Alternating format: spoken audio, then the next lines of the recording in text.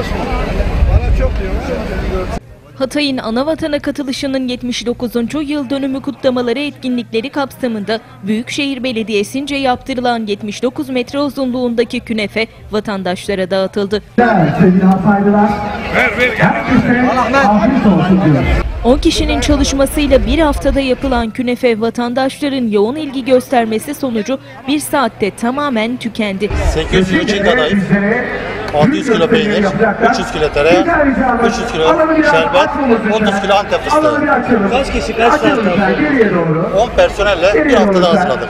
Büyükşehir Belediye Başkanı Lütfü Savaş, Atatürk Caddesi'ndeki etkinlikte yaptığı konuşmada etkinlik hakkında bilgiler verdi. Her yıl ana vatana katılışımızın yıl dönümü hangi kaç yılı gösteriyorsa o yıla göre biz künefe yapıyoruz.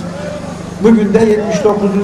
yılını kutluyoruz. 79. yıl sebebiyle de şu anda Atatürk Caddesi'nde 79 metrelik künefemiz var.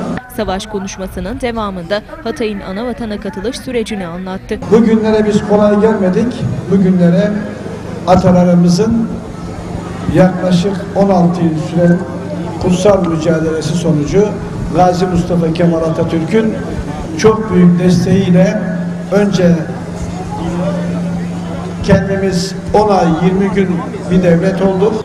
Konuşmalar ardından Hatay Vali Yardımcısı Mahmut Ersanlıoğlu, CHP Hatay Milletvekili Mehmet Güzel Mansur ve Büyükşehir Belediye Başkanı Lütfü Savaş, şerbetini döktükleri künefeyi vatandaşlara ikram etti. Başkanım, başkanım, başkanım, başkanım. Gerçekleşen künefe şenliği Gürcistan Halk Dansları grubunun gösterileriyle son buldu.